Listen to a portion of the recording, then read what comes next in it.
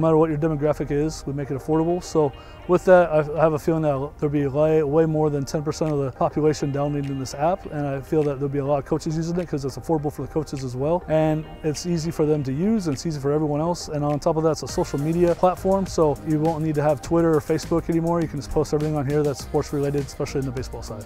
Built for college coaches as well, so it teaches college coaches how to scout on a, on a professional level. 2015, I went to MLB Scout School, and so I have all the terminology and everything and the grading skill to use it. And on the player side, the player's going to use the app. There's no other app out there that's social media based like this. It's all sports related, so there's not going to be any uh, Twitter or Facebook bashing. It's just going to be all professionally based information for the players. And then on that end, coaches and scouts can find players from smaller communities and in addition rural areas, and they can find them, and it's a lot easier them to search.